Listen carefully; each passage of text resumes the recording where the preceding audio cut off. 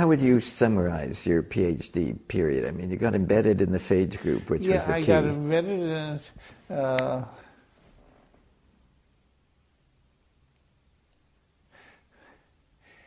bright people, for the most part, doing experiments which weren't going, not very important, and with a false disdain for chemistry. Somehow it was the pecking order. The chemists weren't bright, except for the quantum chemists. But you know, the ordinary chemists who did analytical chemistry or something uh, was not an intellectual. And so they wanted the, somehow the answer to fall out of theory instead of, you know, a genetic cross would tell you the essence of the gene, uh, not uh, X-ray structure methods. Uh, Luria, for some reason,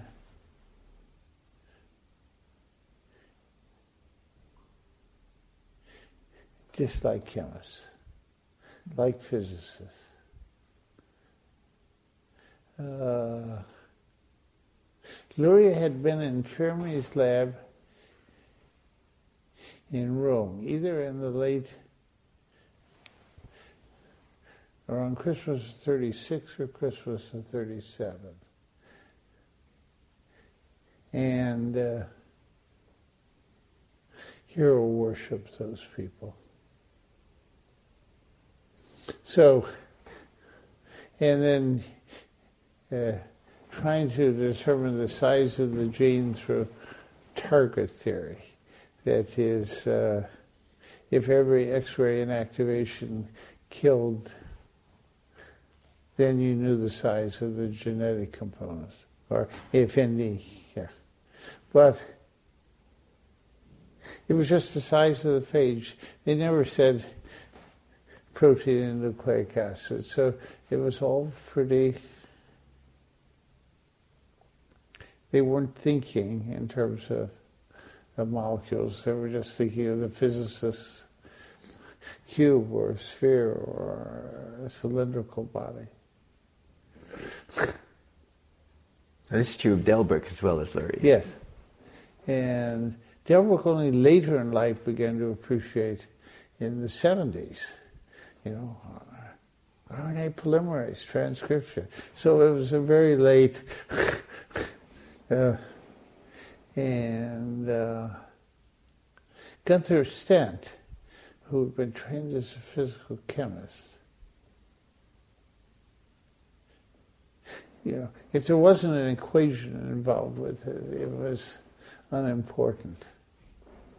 You know, you could be dumb and do the work, whereas everyone wanted to think they were bright by doing things which required you to be bright.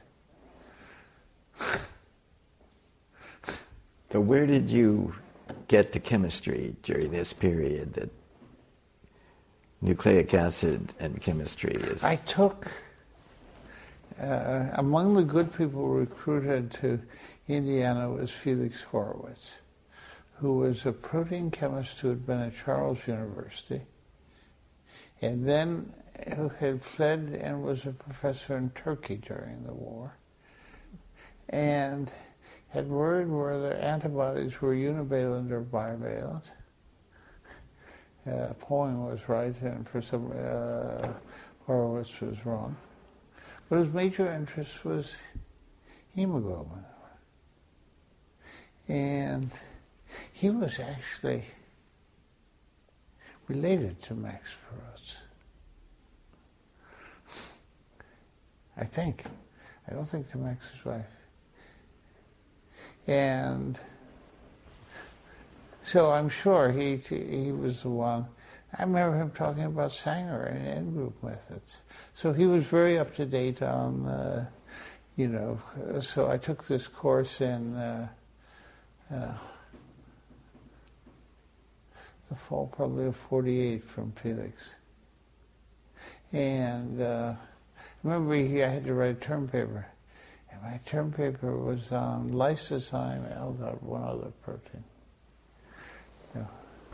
It, it was small, you know, it was a, uh, you know, Francis was trying to crystallize it about that time in Cambridge, or a little afterwards. Uh, so I, am sure he talked about Astbury. You know, talked about Bernal. He talked about Astbury. So I that was my introduction to it, and uh, it fitted into sort of you know my.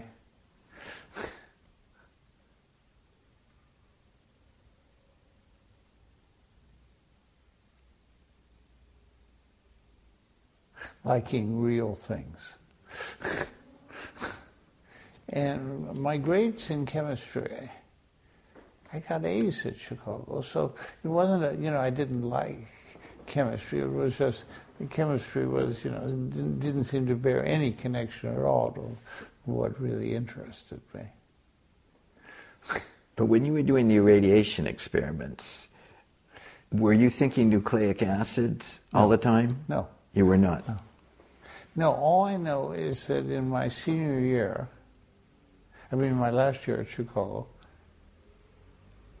I wanted to go on and study DNA. Yeah, because Putnam and uh, Kozloff at Chicago, you know, were labeling phage with P32 and trying to see if the P32 ended up in the progeny. So I remember hearing that experiment. Very important at Indiana was Leo Szilard having got a little money from the Rockefeller Foundation to hold Midwestern phage meetings. And uh, there were to be a lot of them, but you know, probably ended up with just one in the fall, one in the spring. And we met in uh, St. Louis once. We met in uh, uh, Szilard and Novick were then in an abandoned synagogue just south of the University of Chicago. That's where their lab was. And uh, it was also Szilard wanting to meet the people who'd done experiments and talk to them. So it was all arranged for Leo. And I had a, a sort of a hero worship of him from when I read the Smyth report when they, in uh, 45 when the bomb, uh, he was a Princeton professor who had been commissioned to write the history of the bomb project when it was on.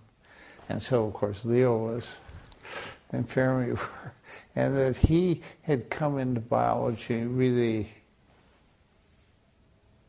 made it much more important. Because he was a great man. Whereas Delbruck would say, well, you know, he wasn't a very good physicist. And he was, I think, telling the truth, actually. Delbruck had, I think, about, Bohr wouldn't have liked Delbruck if he hadn't been pretty bright, I think, as a physicist.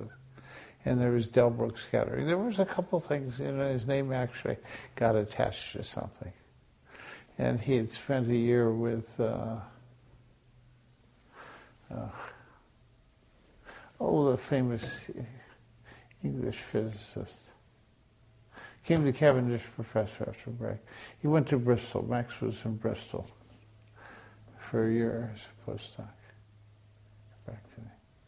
So,